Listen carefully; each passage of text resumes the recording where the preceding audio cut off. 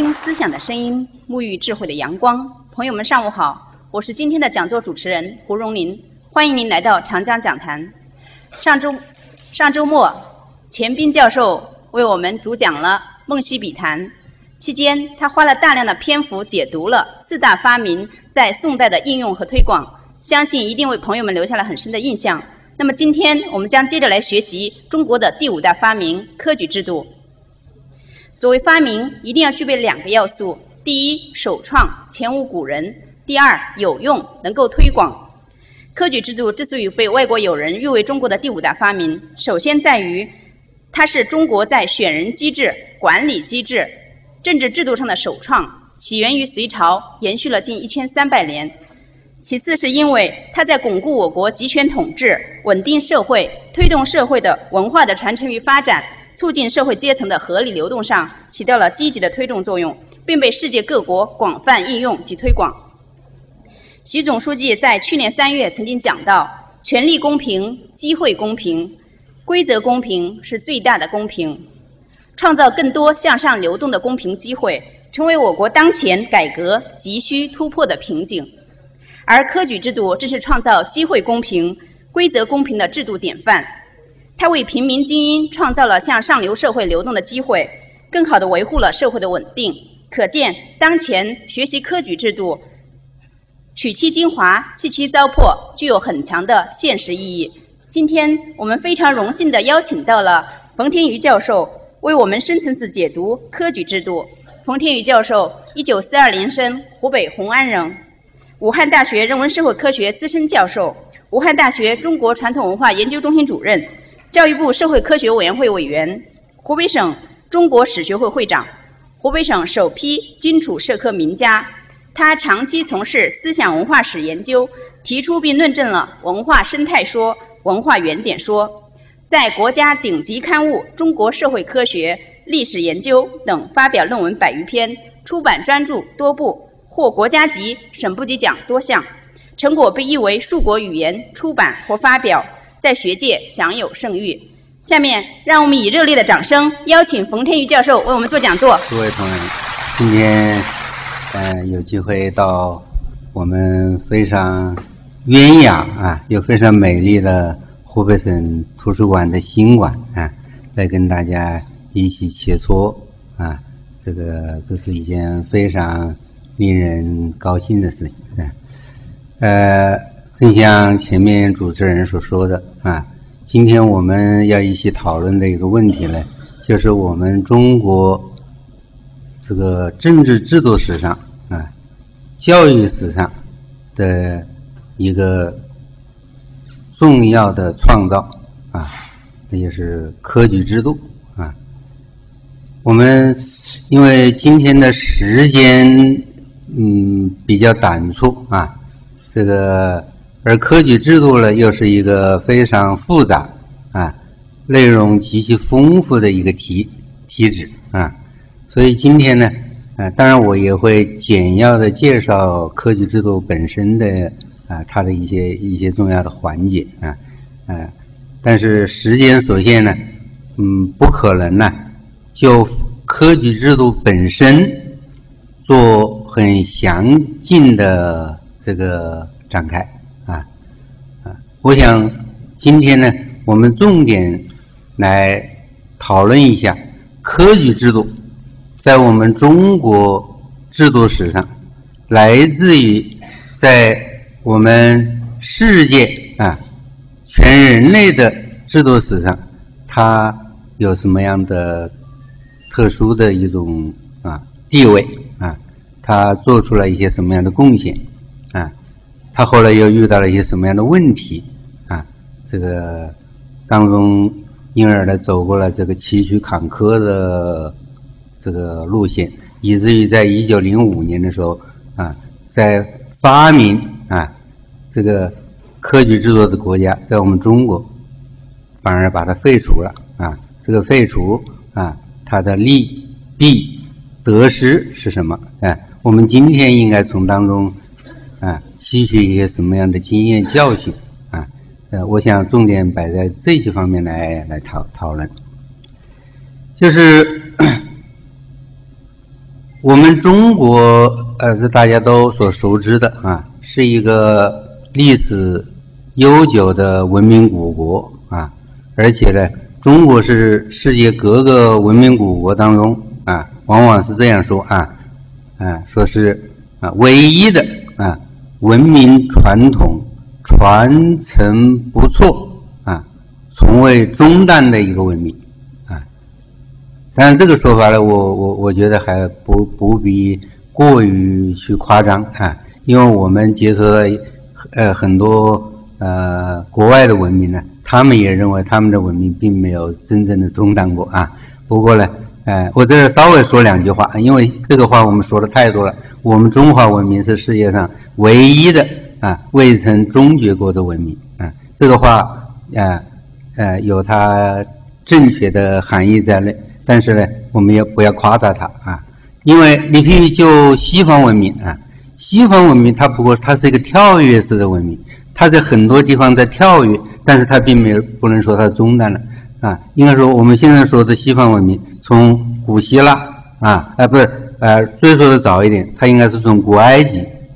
两河流域的文明，就是巴巴比伦的文明，向东地中海聚集，然后在。希腊南部的克里特岛这个地方啊聚集，然后向伯罗奔尼撒半岛啊扩散啊，就形成了这个非常辉煌的古希腊文明啊。如果你把它摆在一个很狭小的位置来看，古希腊文明后来在希腊半岛这个地方是中中断了，但是它的文明传到了亚平宁半岛啊，这就是后来的罗马文明呢。啊罗马文明也非常辉煌啊，特别它在虽然在哲理思辨方面它没有像古希腊那么辉煌，但是它在制度制度文明上啊，那它应该说是超越了这个这个古希腊文明像罗马帝国、罗马共和国，那它的文明水准是极高的，嗯。后来日漫蛮族南侵。啊，造成了罗马文明的终结。哎，但是很快啊，又发展起来了啊。从在这个当中还同时吸收了来自于希伯来的这个基督基督教文明啊，这样就希腊文明、罗马文明和希伯来文明结合起来，就形成了啊，在中世纪形成了它的中世纪的封建时代的文明，欧洲中世纪。封建文明，以往把欧洲中世纪说成是一个黑暗时代啊，实际上中世纪的文明呢啊也非常了不起，欧洲的啊，所以不能说它终结了啊，不能说它终结了。如果它终结了以后啊的话，不可能有后来的那么辉煌灿烂的文艺复兴。然后文艺复兴以后，西方文明啊波澜壮阔的向前推进啊，这个在。近几个世纪当中，它处于世界上处于领先的地位，所以也不能简单的说人家的文明呢就已经一定都终于了。它不过不是像我们中国，在一个国度几千年一直延绵不绝的下来。你看，我们有啊，我们仅仅从思想思想史而言啊，我们有先秦诸子学、两汉经学、隋唐佛学、宋明理学、清代的佛学，一直到。今天的心学，啊，我们在我们这样一个国度当中，它一直延绵下来了。啊，他们呢，在很多国家、很多地区跳跃式的发展，它还是应该说有它一个发展的线索。啊，这个我我我想，呃，我先说一下这个问题，因为现在这个话说的实在是太多了，容易产生一种。一种误会，好像全世界就是我们中国文化从古至今一直传下来了啊，人家好像最后都中断了，对吧？这这，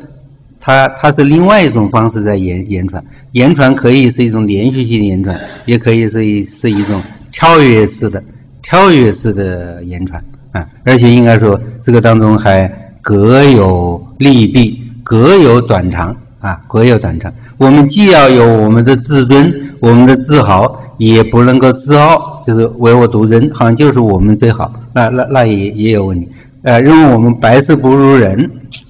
都是西方好，这也是不对。哎，所以我们应该取一个中道的精神来看待这个问题。啊，我先说一下这个问题，就是在我们中国作为一个传承不错啊，这个文明，这个这个得到了这个比较完整的传递的过程当中，我觉得就制度文化而言啊，我们有我们的特点，有我们的优势，有我们的优势啊，它。我们的在这个制度建设上，啊，能够根据时事的变化，啊，不断的进行调整，啊，找到一种比较合理的，能够顺应历史发展需要的那样的一些制度向前推进，啊，啊，这应该说是我们中国文化的一个一个一个优点。那么。就从官制这个层面而言啊，就是官员的选拔、官员的任用啊而言啊，我们中国的制度大概经历了这样的一个过程啊，在先秦的时候啊，在先秦的时候啊，用如果用我所规范的语言啊，就是在我们的封建时代啊，我这稍微还要多说几句啊，因为我们现在。普遍使用的这个封建社会的这个这个概念呢，是被乱用了，被乱用了啊，很不准确，不符合封建的本意，也不符合封建的西意，同时也不符合马克思的本意啊。我们把我们秦汉到明清说成是封建社会，而这一段时间恰恰是一个非封建的时代。为什么这样说呢？我们的封建时代是在夏商周啊。封建是什么意思呢？就是封土建国，封土建国啊。这个上面虽然有天子，但是权力是分散由那些世袭的贵族所掌控，这个叫封建社会，这个叫封建社会。那么这样的一个封建社会呢，在我们中国是在夏商周，就是先秦的时候，尤其。最典型、最完整的封建社会是西周，是西周。西周他周天子把天下前土和人民封赐给各级诸侯，就是各级贵族。这诸侯贵族有两类，一类是同姓，就是姬姓，因为周天子是姓姬，姬鹏飞的那个姬，姬姓啊。你比如像鲁国，这是姬姓，这是同姓封。啊，这是周公的后人封封在那儿。哎，有些是异姓封，比如同样在山东半岛那儿还有一个国家，那就是齐国啊，这是封给姜太公的后人啊。因为姜太公在辅佐周武王啊得天下的过程当中建立了大功勋，所以给他的封赐到齐，这是异姓封。无我们中国古代的封建无非是这两种同姓封。和异姓封啊，这个建立了这样一个封建社会啊。这个封建社会的官官员是怎么产生的呢？啊，他是世袭的，由这些贵族担担任这个各地的军政首长，来掌管国家的权力。这个叫做封建的贵族政治啊，我把它叫做封建性的贵族政治。啊，这个应该说是我们中国制度文化当中的一个重要的阶段。那么到了周朝的后期，就是东周，尤其是东周又分春秋和战国，尤其是到战国，春秋已经出现了这个问题。到了战国，因为它跟各个国家、各个诸侯国家之间处处于非常激烈的、非常紧张的一种竞争的状态。如果不是激烈的竞争状态，它可能。原来的那个贵族政治还还可以延续下去，在这种激烈的竞争状态，那个贵族政治，它的弊端就越来越彰显。啊，这些贵族他可能没有能力，或者也他也可能很腐败，就不不足以富国强兵。所以这个时候，各个诸侯、各个国啊、各个诸侯，他们。除了继续的任用贵族世袭的那些贵族以外，他还要不断的从平民、从下层人当中选拔一些人出来，来当他的文官也好，武将也好，哎，大家如果呃看过一些关于反映春秋战国的文学作品也好，历史书也好，就可以看到很多啊。所以这个时候是两种制度并行，就是在春秋战国，就是他的贵族政治还在继续，同时呢又出现了所谓的军功爵制，就是你有军功。那么，虽然你原来没有贵族身份，但是可以授予官职，甚至于很高的官职。军功爵制在战国七雄各国当中都在用，用的最成功的应该说是秦国。秦后来能够夺取天下啊，统一天下，跟他实行军功爵制啊，就就是韩非概括的，就是宰相齐州部，猛将处于卒伍。卒伍就是当兵的，这个猛将啊，不是凭他的世袭关系，而是他作战英勇或者打仗有本事啊，有军事才能。虽然是卒是武啊，可以产生猛将，可以产生高级将领啊，这就是军功爵制，这就跟原来的贵族政治已经有所区别了。同时，在春秋战国，尤其是战国。啊，出现了一个重要的制度，就是养士制度。养士就是那些贵族啊，那些诸侯以及诸侯下面的一些重要的贵族，他们纷纷的从平民当中，从隔舍人等当中，三教九流当中啊，把一些有才能的、有各种才能、大的才能治国平天下，小的才能甚至于鸡鸣狗盗。那也还是本事啊！这鸡鸣狗盗到时候都有用处啊，就把这些人养在自己的这个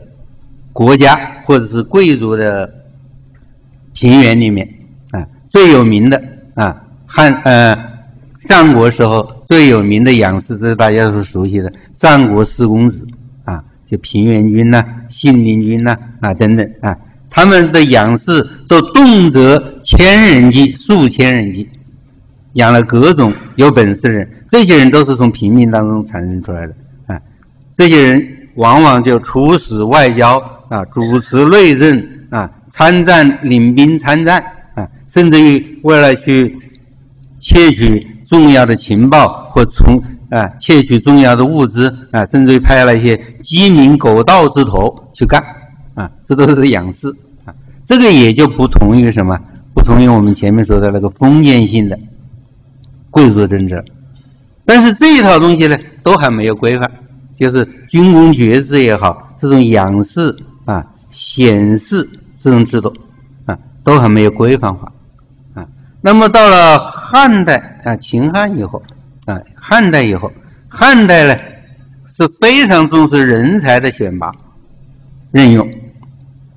汉代的这个人才选拔制度也非常复杂啊，因为它也是个过渡阶段嘛。过它汉代是这样啊，因为大家都知道，从汉高祖刘邦开始啊，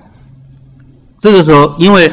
封建时代对于汉代的这些帝王而言呢，都是属于去古未远的制度，所以他们对他往往还很向往，而且秦朝二世而亡啊。汉初一些人总结教训的时候，有多方面的总结啊。当然，首先是总结认为秦朝暴暴暴虐啊，就是对老百姓太太坏了啊。另外一个总结的教训就是什么东西呢？就是没有分封，秦朝没有分封，这样呢没有封建啊。认为一天下一出乱子的时候啊，没有自己同姓的人或者自己的亲戚。上面掌握了兵权，起来辅佐，反而总结出这一条经验来了。所以汉初的时候啊，啊，还还又有一种像封建复归的一种做法啊，但是他马上也尝到了苦果。首先是异姓王叛乱啊，然后汉高祖把他们平息下去了。后来连同姓王也要叛乱。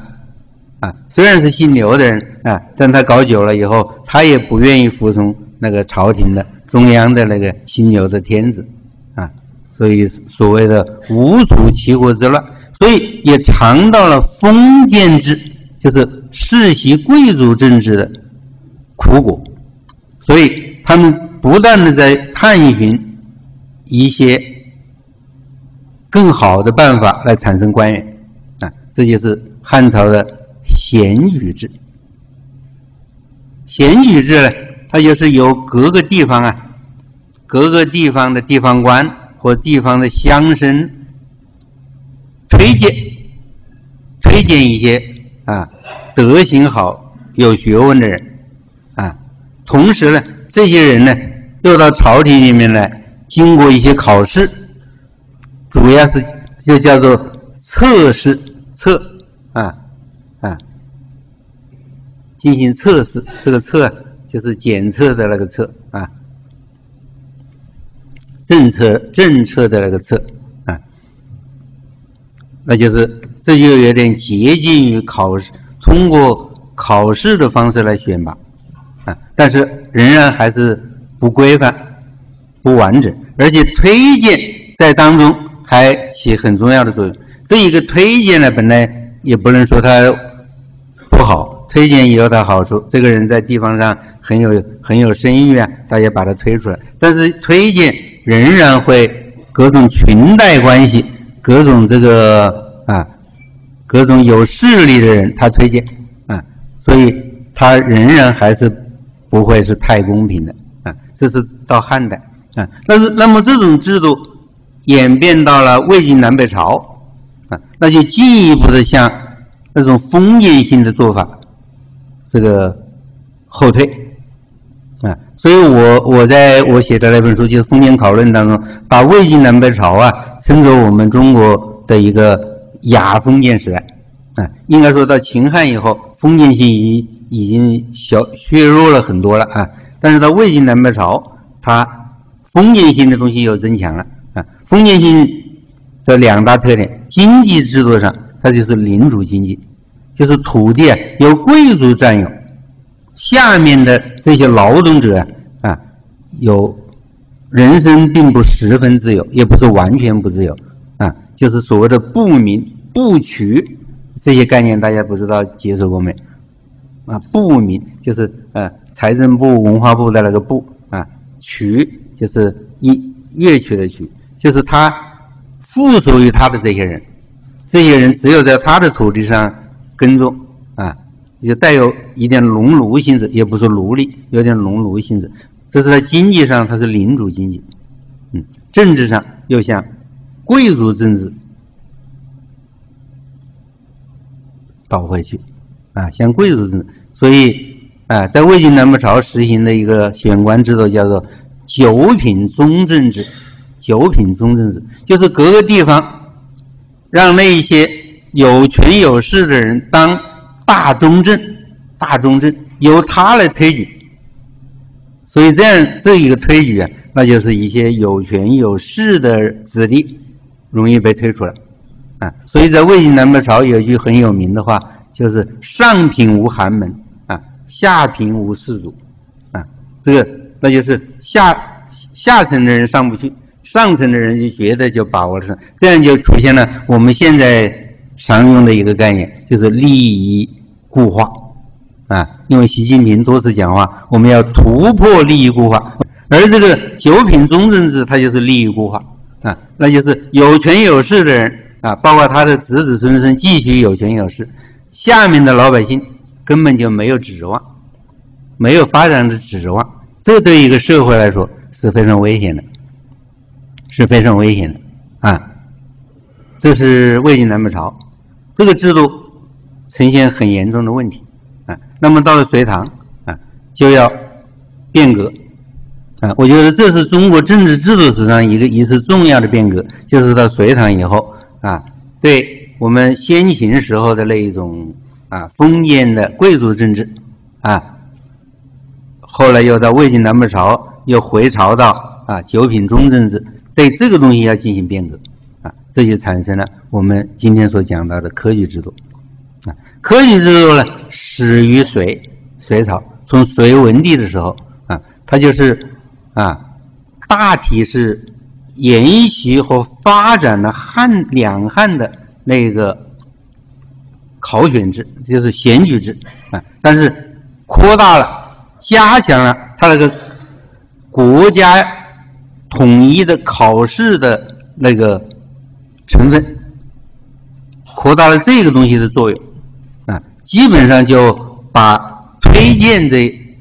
这个环节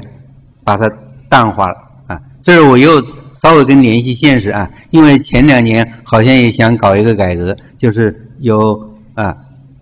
因为高考嘛，总还是有些弊端。往年看分数啊什么的，这当然有它的弊端，但是它是它是公平的，它是公正的啊。后来就想修正一下，就是校长啊可以推荐一些人啊。有呃，我记得有一次是《光明日报》还是《中国教育报》的记者采访我，我我表示坚决反对啊。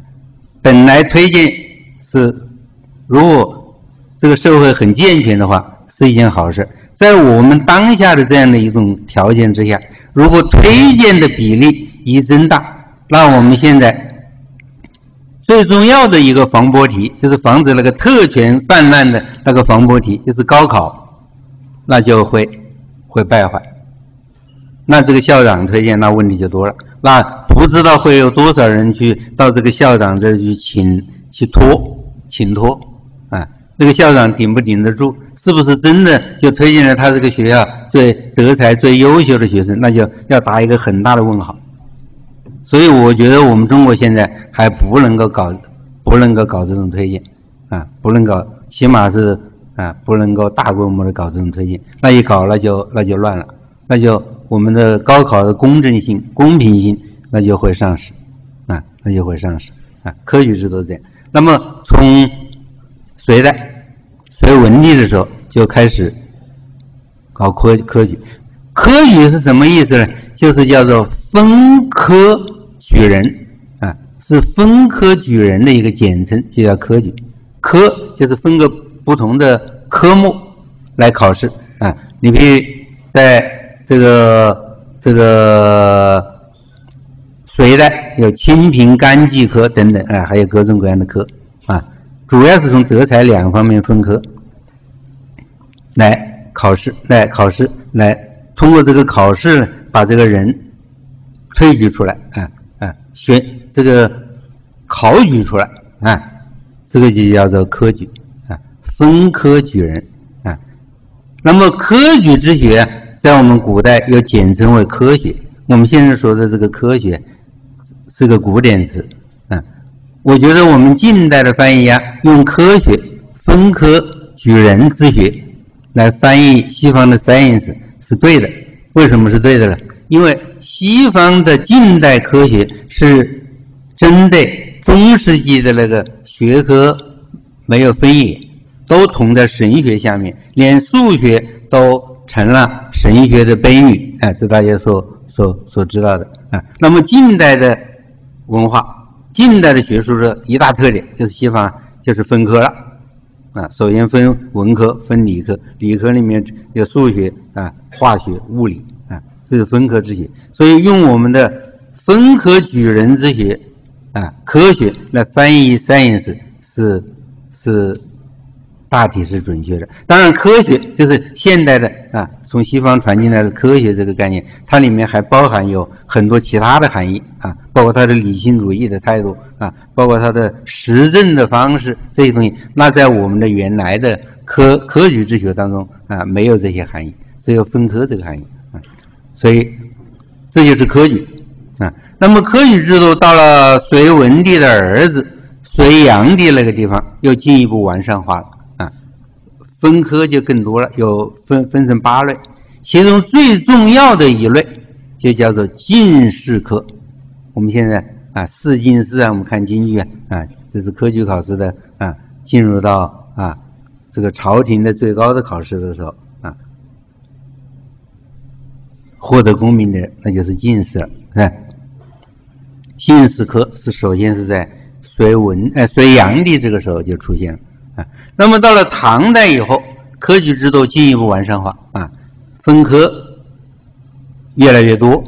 啊，甚至于你可以因为李唐嘛，就是姓李的人当皇帝，他们啊特别就把老子，老子有一个名字叫李耳啊，除了叫老聃以外啊，又叫李耳，所以唐朝的皇帝就把李耳啊，就是老子，视作他们的始祖，所以他们对于道家的地位抬得比较高啊，所以在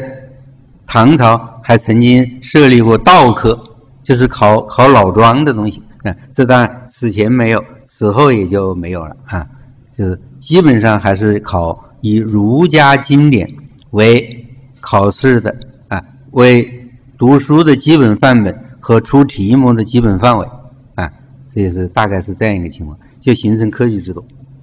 这样一个比较完整的科举制度。那么到了唐代的武则天，武则天统治时期啊，他又进一步的增强帝王对科举的控制啊，所以他。在科举当中设了最高的一个层级，啊，那就在会试之上，会试就已经是到中央来考了啊。他首先是乡试，啊，他他首先是童试，儿童的童，童试考上了就叫什么？就叫做秀才，叫秀才啊。从秀才开始，这个人就有功名了啊。你像明清的时候啊，一般的老百姓见了县太爷是要下跪的，但是秀才是不必下跪的。他可以站着，啊，那就说明他已经有身份了。这是童试，儿童的童，然后是乡试，乡试就基本上是省试，就是一个湖北省的啊，江西省的啊，这个考出来的就是什么呢？就是举人了，举人都可以啊当一些下级的官员了啊，所以范进中主嘛。啊范进呢，这个老秀才，考了几十年，最后中了主，啊，高高兴的发了疯，发了疯了，啊，疯狂了，然后就到朝廷里面去考，这就是会试。会试这是朝廷里面考了，啊，这就产生这个这个啊，那么到本来进士在会试就产生了，然后。武则天的时候，为了提高帝王对于科举的掌控，以及提升帝王在这些应试的士子当中的这个心目当中的地位，他又设了一个最高的一个层次，叫做殿试，宫殿的殿，殿试，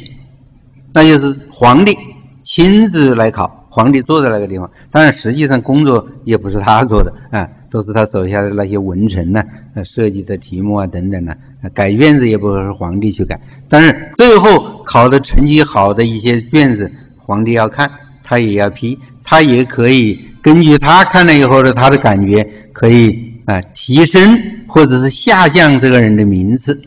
啊，你你比如我们所熟悉的啊张之洞啊，张之洞在最后殿试的时候，他原来他的名次比较靠后，后来是。因为他的儿子那个时候还还不能管这个事是由慈禧太后起这个在殿试当中的皇帝的这个作用。他看了张之洞的卷子以后，非常欣赏，把张之洞从一百多名提拔到第三名，所以张之洞成了探花啊，成了探花。所以张之洞跟慈禧之间的关系啊是非常这个渊源很深，从这个地方开始啊，就是帝王啊，他也不完全是摆样子啊。这个殿试，他还能够根据他的需要，根据他的好恶，他还可以哎做一些选拔工作。这就是殿试。殿试呢，那么还要产生出进士的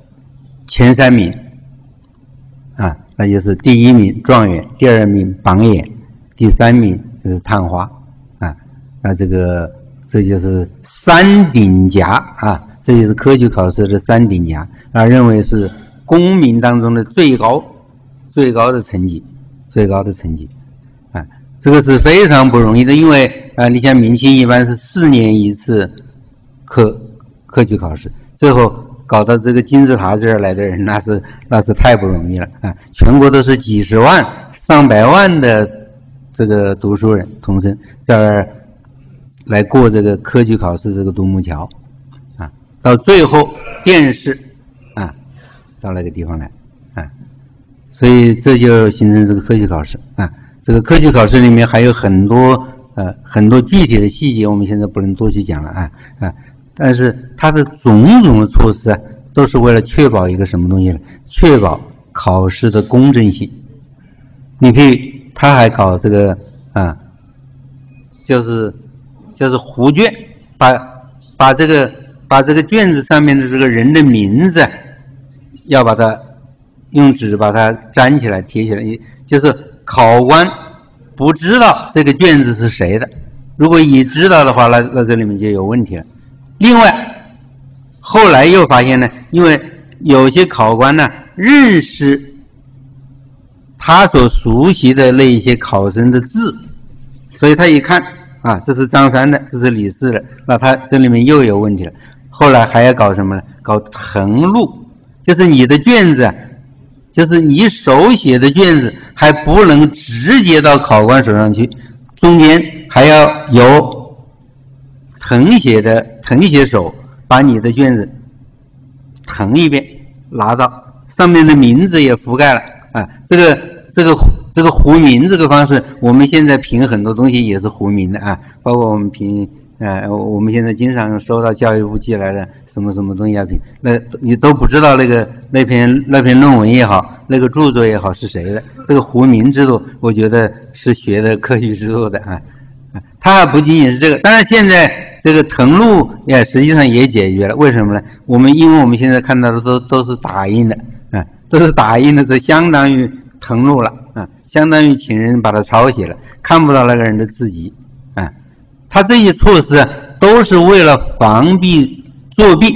防避作弊是什么意思呢？就是要让这个考试保持它的公正性，啊，它的目的是这个考试要真正的。选拔出杰出人才来，他的用心在这个地方，用心在这个地方，不是通过裙带关系啊，通过什么各种各样的这样的一些关系把这个人推上去，所以这一点啊，就展示了这个科举制的它的这个公开、公正、公平性啊。所以比较起来，当然它有它的问题，我们后面它的问题也很大啊。比较起来，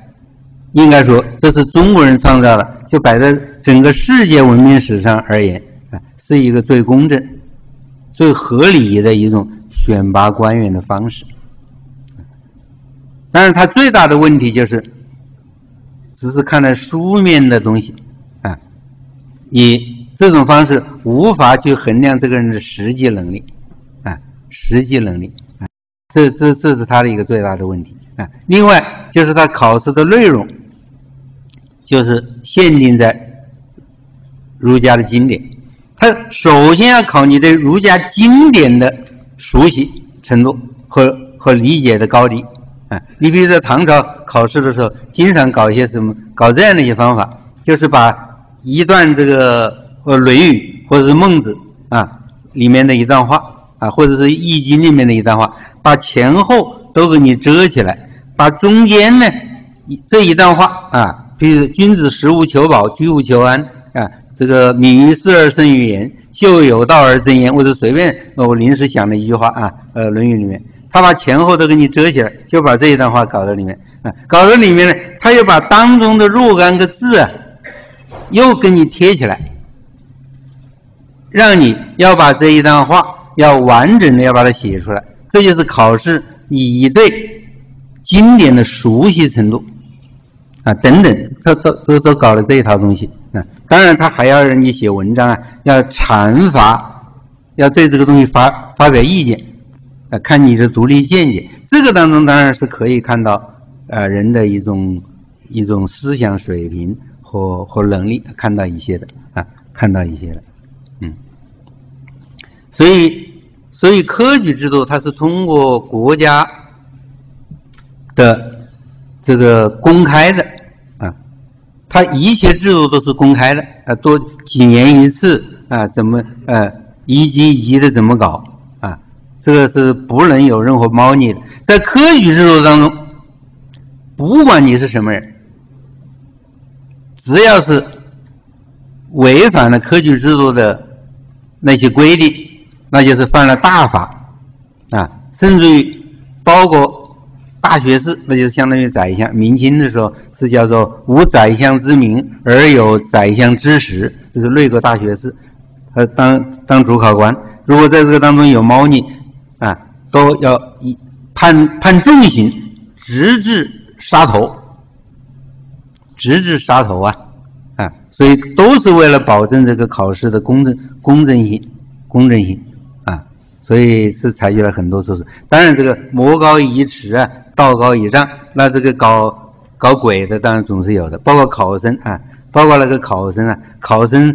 带夹带啊。因为考试搞夹带，这我们念书的时候经常都啊，这个我我好像一辈子还没有搞过夹带，就是啊，因为我也不一个我我不是一个蛮重视考试的人啊。我们的同学当中啊，因为带夹带当场被抓出来的也也经常有啊，那也就是批评一下算了。但是古代如果带夹带要发现了，那那也是要受到极为严厉的处罚啊。带夹带除了搞一些小本子要带进去以外，啊，大家可能看在博物馆里面参观看到过，有一些在衣服内衣里面把四书五经呢都写的，那就说明他的一个人的记忆总是有限的，有些东西就记不到了啊，那就把那个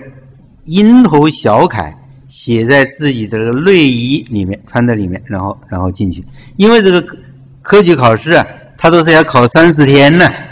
大家如果到南京去，还可以到南京公园。本来我们武汉有很好的公园，可惜拆了啊。就是呃，我的母校实验中学，武昌实验中学那个地方就是公园，旁边就是公园，所以它前面有一个牌子叫做“为楚有才”。哎，后来是我我念书的时候，我们每天每天还通过那个“为楚有才”的牌子。后来是我刚刚离开，我高中是在华师一附中，哎，我五七年就到华师一附中念高中了。每每天要通过那个为所有才的牌子，听说是五八年的时候就倒掉了。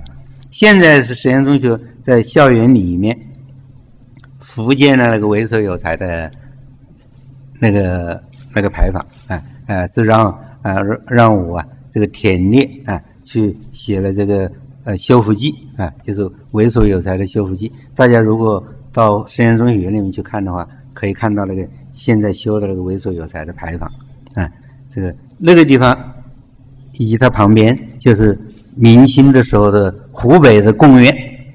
它这个贡院呢都是很大一排的一排排的这种房子啊，分成一小格一小格，考生就进去，进去了每每个人大概只有估计只有七八平方，就是有一个有个很小的桌子，然后有一有一张很窄的床。这个三十天就在里面生活，吃喝拉撒睡都在这个里面，都在这个小房间里面，也也不能跟任何外面的人接触，都是为了防止这个啊出现出现这个这个搞鬼的事儿啊。但是尽管是这样呢，有些人还是还是搞了夹带，就是去在自己的内衣里面，他一般进去也要搜身啊，可能以前没有发现这个在这个内衣上面写。这个四书五经的这种情况的时候，可能也就是摸了一下，收身，可能没有没有让它敞开，要敞开就露馅了。啊，这些东西现在也成了重要的文物啊，我们在有些博物馆都可以看得到啊，说明科举制度的严严格啊，以及有些人采取这个对付他的一些办法啊。当然，现在这个带夹带这个方法就越来越先进了，听说有用手机啊，用什么东。种种办法的这个啊，这个这个可以作为一个专题研究啊，就是大家如果有兴趣的话，现在现在一些人在怎么样搞这个夹带啊，包括用手机啊，P 他做不到，他把这个题目报出去，或者他的爸爸在外面，或者一个一个比较有有一点学问的亲戚朋友在外面啊啊，把题目报出去了，然后马上就就告诉你，哎，但是现在也有办法了，现在听说是不能带手机进去了。啊，还有什么其他的器材？我我我就不太知道了。所以说科技的发展呢，这个 这一方面还会越来越复杂啊。但是都都是说明了一个考试的公正性的维护问题。哎，这个这个，那么我们然后这样的一些细节就太多了，我们今天就不能去讲它了啊。那么科举制度呢，应该说是人类啊，就是创的各种这个选官。任官制度当中一个比较合理、比较公正啊的这样的一个一个制度，这是我们中国人的发明创造啊。它的一个直接的功用，就是使得普通的平民，就是没有任何啊权势啊和这个裙带关系这样的人，只要你通过自己的努力的攻读，当然也要天分比较好。如果天分不好，记忆力啊、理解力不够的人，你怎么努力恐恐怕也不行。那所以科举考试考上去了的人啊，那一般都是。智力水准也一定，除了非常努力以外，那那要那也相当不错。因为啊，从八十年代开始，我一直在参加省市那个地方志的修撰工作，做那个呃副总撰的这些事情，所以我也看过很多旧制。你看那些旧制，一个县制也好，府制也好，都是那个地方的县官呢，或者是知府啊写的，每一个人的文文章啊，都是水平很高。而且那绝对都是他们自己写的啊，不是像现在有些官员啊，连一个小的发言稿都要用秘书来写啊。这个，因为我们原来的官员是经过了严格的啊，甚至于说是严酷的这种训练，一步一步的走过来的。另外，譬如像张之洞啊，这张之洞他的特点就是，这是后人呃，就是当时的人在他的记载，就是他每每天晚上都是工作就批览或。或写写文文件，都到转中啊，说他是一辈子是亲自文书，是吧？张之洞全集啊，这是我们编这也出了二二二十多卷本，可以说是百分之七八十都是他自己写的，他自己写的啊。这个他要了解下情，他要知道上面的精神啊，又要有自己的理解啊，所以。所以中国的官员这个本事就是与我们传统的，嗯，这个本事绝对是有的，在科举制度当中啊。至于他的实际工作能力，啊，那就有有高有下啊，那就还要他还要在实践当中磨练，这是另外一个问题。但是他就是说，使得底层的人啊，有可能通过这种考试啊。进入社会的上层，进入治理者的行列，啊，就使得啊社会阶层之间的流动成为可能，而不是利益和权力的固化，啊，所以这个应该说是科举制度的最重要的这个优越性，优越性，它也使得中国从秦汉以后。一直到明清，只有两千年啊啊，尤其是啊隋唐以后，也有一千多年啊。我们的这一部运作机器啊，还比较强健有力啊，与此有关啊。你像很多，你你比如像唐唐宋八大家当中，有多位都是从底层起来的，像欧阳修啊这些人啊，都是从底层起来的啊。所以从底层起来的，除了他知道民间的疾苦，而且对于民情、风俗、下情啊，他也比较了解，比那个从小就在养尊区处优啊啊的那样的人啊，那就那还是不一样啊。除了他的学识是自己刻苦攻读出来的以外啊，当然也有人指出，科举制度说起来是平等啊，如果你很穷啊，你连念书的条件都没有。那你根本就没有这种机会，但是这这都是对的，这种批评都是对的啊。所以平等也好，公正也好，它都是一个相对的概念，它是一个相对的概念。但是在那样的一个历史条件之下，这个应该说是就是相当不错了啊，相当不错了。那么这种制度就成为中国这个隋唐以后啊的一种非封建的，它是不是封建，不是封。不是分封的来得来的东西，非封建的官僚政治啊，所以我们可以我做了这样一个概括，就是我们秦汉以后，它的主流啊，但是它封建性的东西还有，还在封，还在封，还在封侯嘛，啊，封王嘛，啊，所以它呃秦汉到明清还在封嘛，但是分封是次要的，主要的他的官员主要是通过考选产生的，所以他是非封建的。他的执政的人是官僚，而不是贵族啊，所以跟前面的三代夏商周三代那个封建社会的差别，在政治制度上，前面是封建性的贵族政治，那么秦汉以后，尤其是隋唐以后，是非封建性的官僚政治。官僚不同于贵族，啊，一个是世袭的，一个是是考选出来的，这个而且朝廷可以随时任命他，也可以随时罢免他，而贵族除了犯了极大的跟朝跟跟皇帝发生了极严重的冲突，一般呢是世袭，所谓的世袭罔替啊，说这个一一一一世袭罔替，他是不能够。啊，不能够随随便剥夺的，这是贵族。官员是可以随便调动的，啊，可以任免的，啊。而我们中国呢，是实行的非封建的，就是秦汉以后，尤其是隋唐以后，是实实行的非封建性的官僚政治。在经济制度上，啊，我们这只提一句啊，在封建时代是封建性的领主经济，就土地是属于。贵族所有，这是他的一个特权，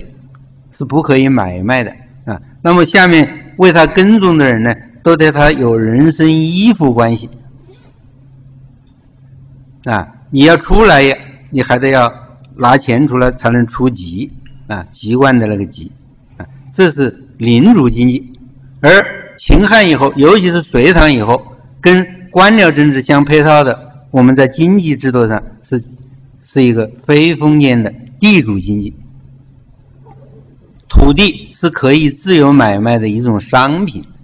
只要你有钱，你就可以买。贵族政贵族时代、贵族政治时代，那个领主经济，土地是不可以自由买卖的。所以这个差别我们把它掌握起来。而科举制度是跟官僚政治、跟地主经济相配套的这样的一个啊，应该说是在。中古到近古是世界上比较先进的一种制度，一种官僚制度，而且它也是一个教育制度，因为它的教育都是按照这根据科举的要求向前推进的，向前推进的。那么这种科举制度，它在世界上也有很重要的影响啊，就是西方人呢，他们原来完全不知道有还有科举这种办法，他们。从古代到中世纪，一直到近代的初期，啊，他们的治国的人是贵族，啊，这个，那么西方人在到达了东方以后，就发现了，哎，中国的制度不一样啊。这个向西方做这种介绍的，最早的就是。啊，我们中国的元朝的那个时候啊，意大利人啊，这意大利的热那亚的人啊，就是马可波罗，在马可波罗的游记或者叫做马可波罗行记当中，就有这方面的记载。他就发现中国的官员呢，跟他们的官员不一样，是是是政府任命的，他没有强调那个考选啊，这是最简单的介绍。比较详细和准确的介绍是在明中国的明清之际，就是明末清初的时候，西方的耶稣会士一些传教士来到中国，而且他们呢，就往往在中国定居了很多年。其中第一个这样的人物就是利玛窦。利玛窦在他的很多文章和书信当中，就向西方做了这样的介绍。他就是中国统治中国的人，各级的官员呢，是一些很有学问的哲学家，这是他用他们的语言，实际上就是指的那些儒生，受了教育的。他们呢，不是因为自己的世袭的身份得到的这种官职的，而是通过考试的办法。考试的内容呢，又是啊，他们古代的那一些圣贤的。论著，那就是我们所说的啊，那个四书啊，啊五经呐这些东西，啊，他我觉得利玛窦对西方的这个介绍，基本上把中国的科举制度的一些要素或特点介绍过去了，这样就对西方人呢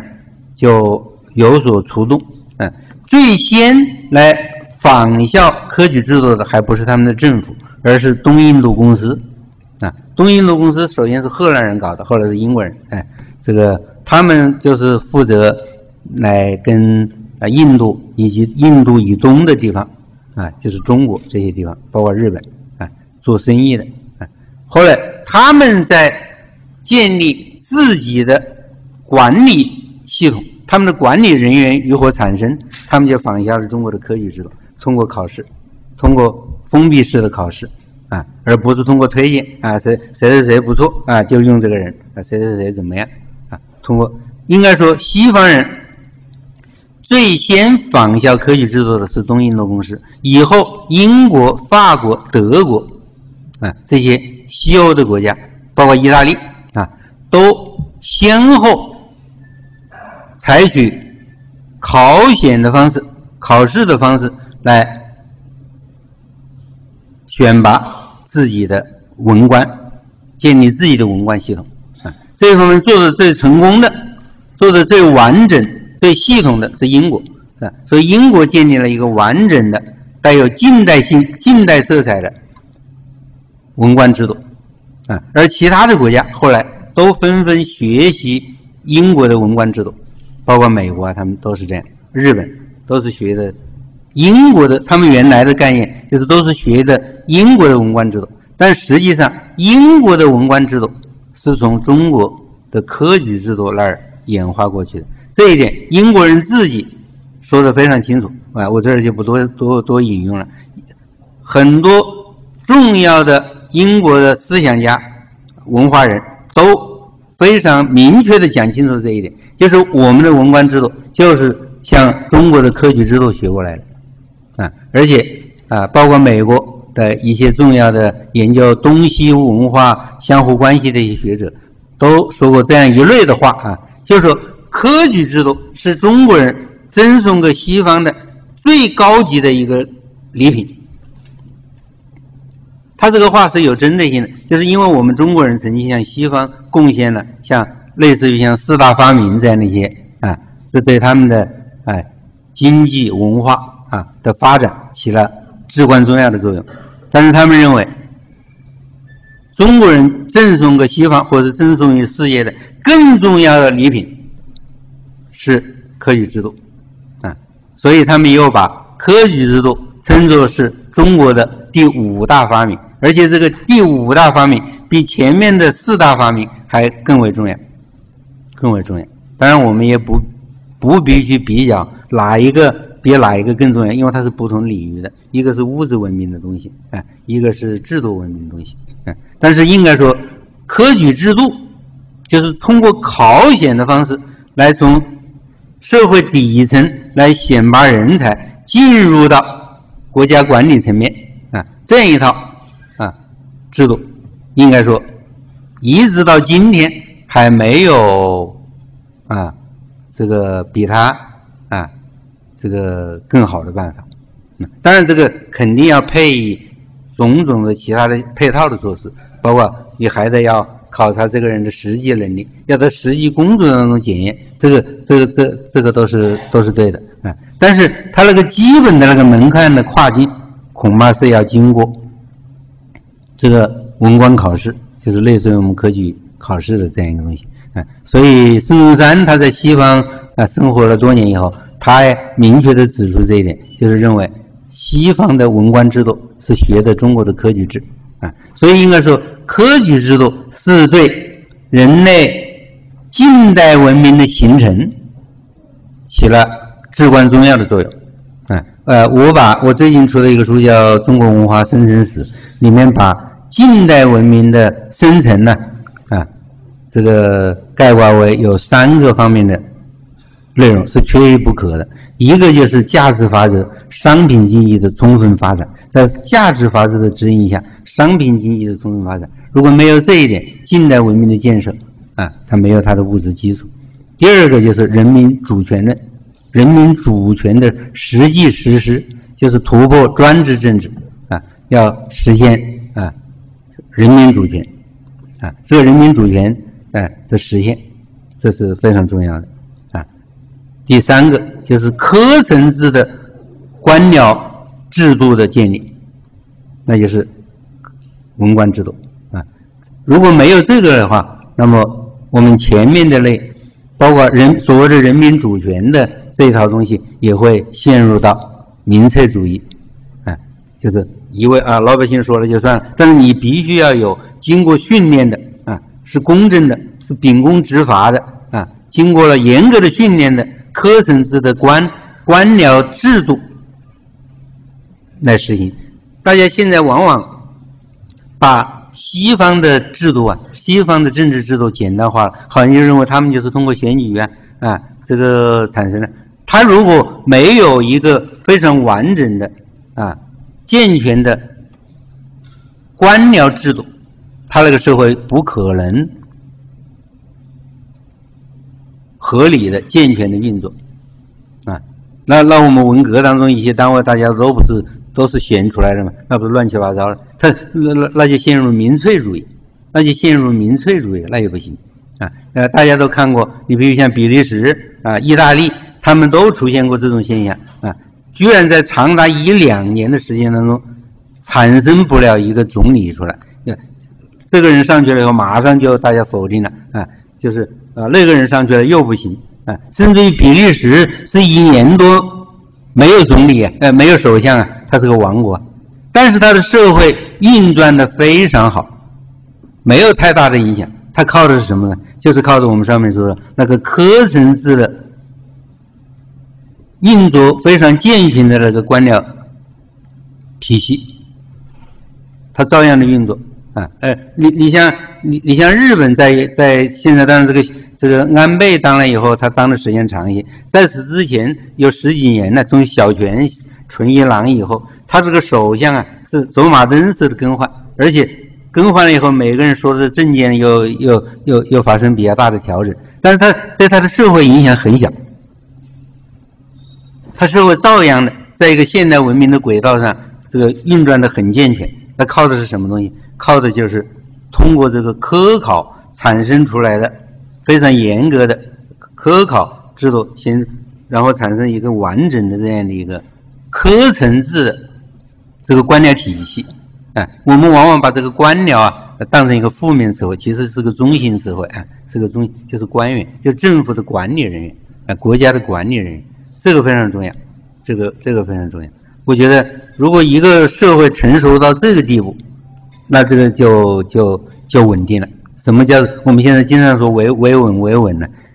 我我这个我个人在这个问题发表意见。怎么叫怎么叫这个社会稳定了？就是哪怕上面暂时停了停了一下摆，下面整个的这一部国家机器能够非常有序的、继续的、有效的运作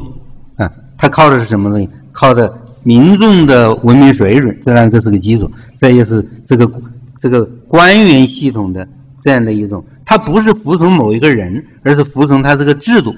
在这个制度当中，不管是经济的、政治的啊、社会的各个方面，都按照这个东西来，这个社会就不会乱啊，不会乱。就是如果哪一天我们能够到这一步，我们这个社会大概就稳定，就稳定了。而这一点呢，在很大的程度上要靠我们。老祖先发明的科举制度的现代的运用，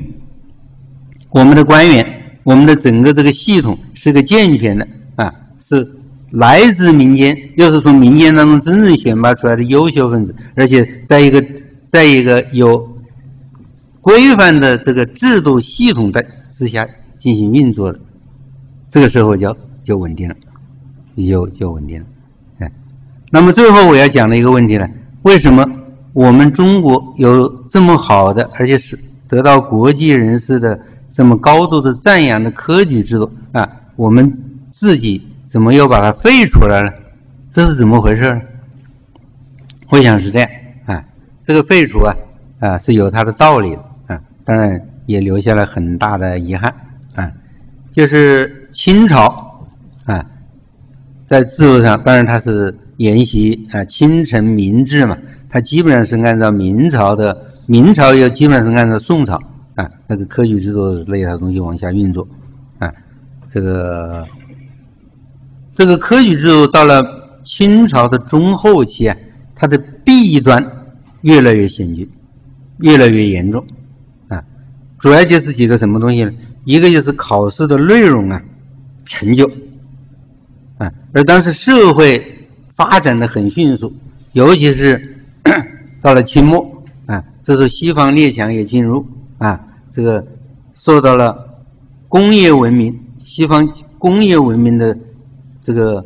猛烈的冲击啊，而这个时候，我们的读书人啊，满脑子装的就还只有四书五经那么一点东西啊，对于啊新的世界新的文明一无所知。正像康有为当时批评这个八股啊，批评科举说的话，就说。如果要问现在的这个读书人呢，如果问以这个亚非之地域、欧美之政学，每个人都瞠目结舌。你如果我们的读书人以及从读书人当中产生出来的官员、官僚都是这样一种状态，那你怎么能够在这个现现代社会当中存生呢？我们就现今年是。甲午战争一百二十周年，哎，我们包括我自己也写了一些文章，哎，呃，现在发表了很多文章，就总结这个失败的教训。甲午战争中国是惨败啊，啊，陆军是一败于这个朝鲜，二败于辽东啊，海军这个咱们经营了二十多年，花了三千多万两这个白银建的这个北洋海水师，全军覆没啊。哎，我们要总结这个教训，为什么败得这么惨呢？当然是原因是多方面的啊，其中我觉得跟这个科举制度这东西有关，那就是我们的那些官员，我们的各级管理者，整个的思想体系啊，完全还停留在中国，你完全对于现代文明、近代文明一无所知啊，而日本经过。幕末维新到明治维新，他已经迅速的掌握了近代文明的那一套东西，啊，所以在这个时候，说到了清末的时候，一些觉悟了的士人、读书人和一些啊比较务实的一些高级官员，都意识到这个科举这样搞下去不行，当中还加上一个八股文。写文章都成了格式啊啊，都要按照八股来写啊啊，这个完全是形式主义的东西。所以，从十九世纪末期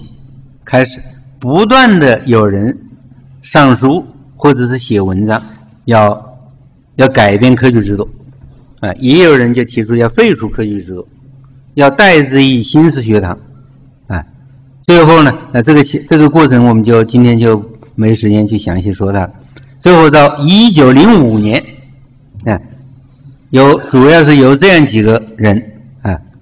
上奏折提出废科举，后来朝廷接受了，那就是袁世凯啊、张之洞啊、刘坤一啊，还有好多重要的督府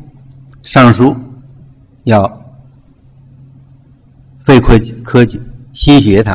啊，这个朝廷也结束了。这样，中国沿袭了一千三百年的这个科举制度，就重视戛然而止，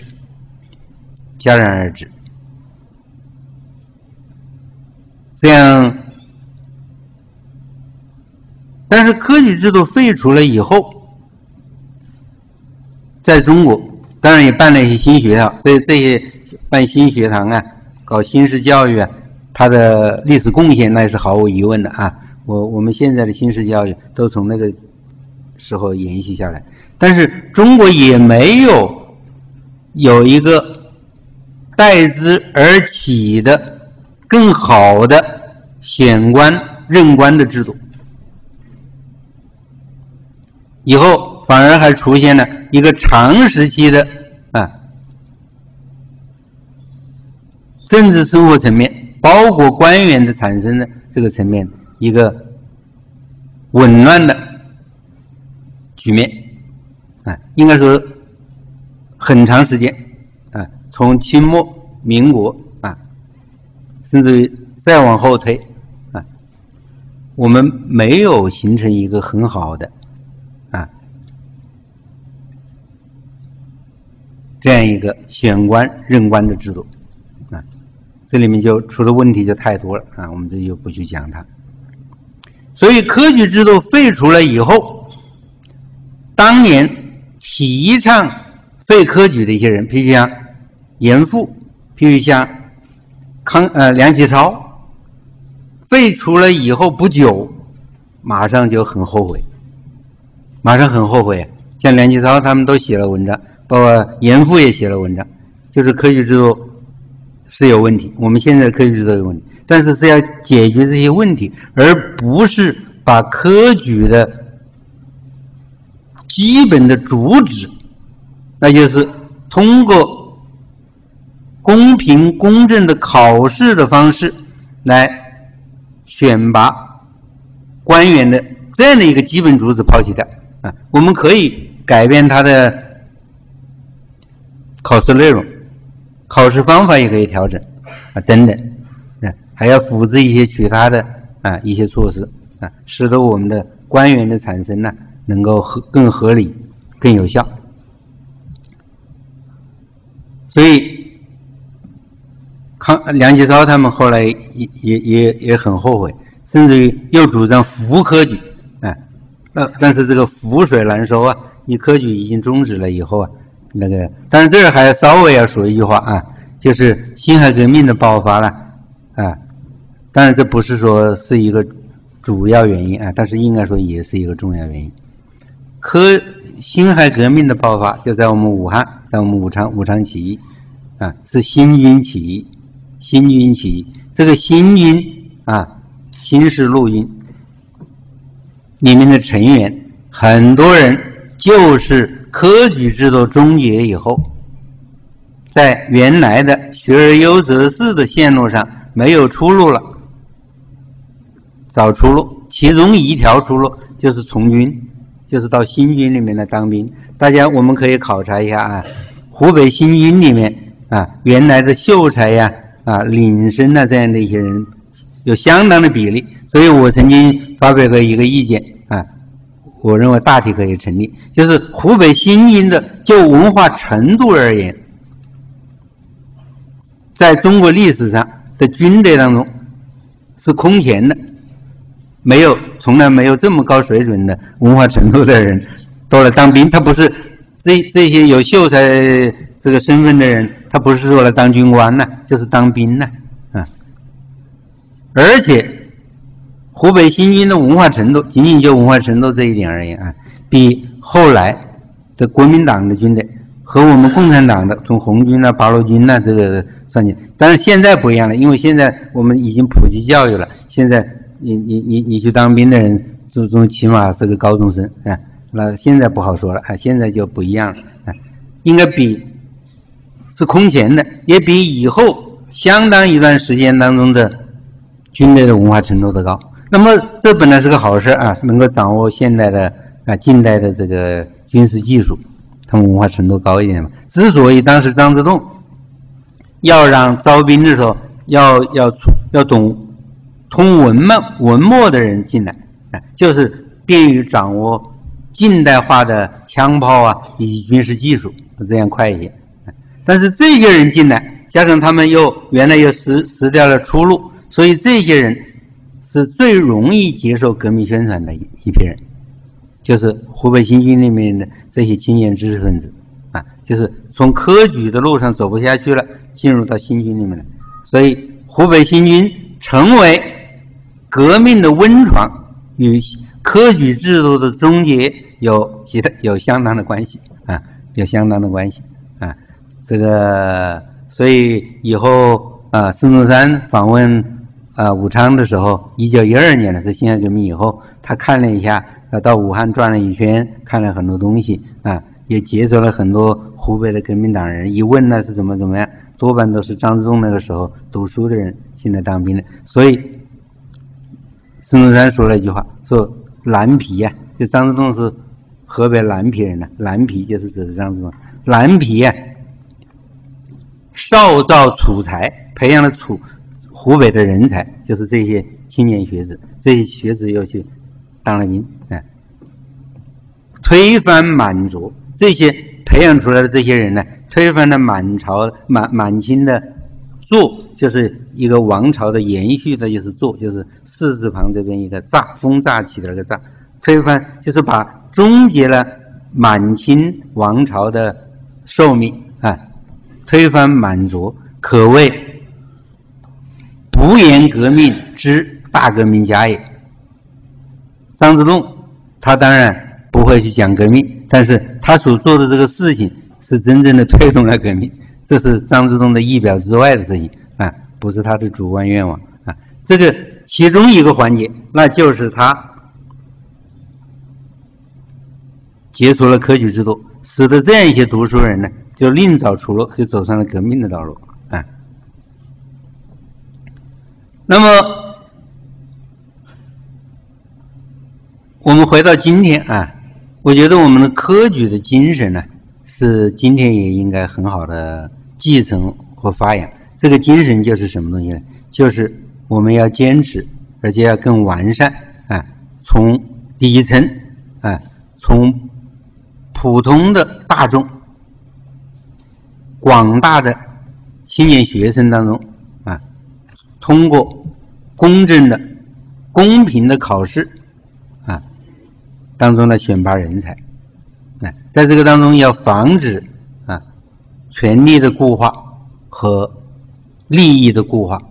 啊。习近平多次讲了，要突破利益固化的樊篱，那就是有鉴于前若干年当中有了这个利益固化啊、权力固化的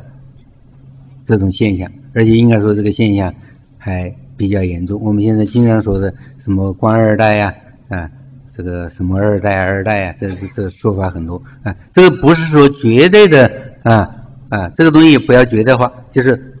在国外也是这样啊。很多政治世家啊，他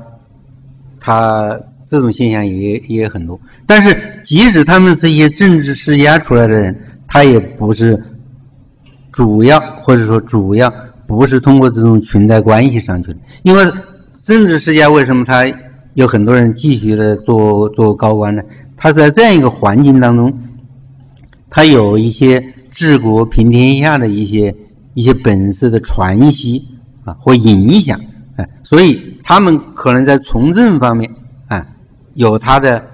某些优势，但是他们实际当我们可以具体的考察每一个这些发达国家啊，他们那些政治世家出来的一些人，他们每个人都必然都是经过了严格的。这个这个考试经过了啊严格的竞选过程和实际锻炼的过程当中出来的啊，他并不好像还目前还没有发现哪一个人完全是靠他的这个身份关系上来的，所以我觉得我们今天如果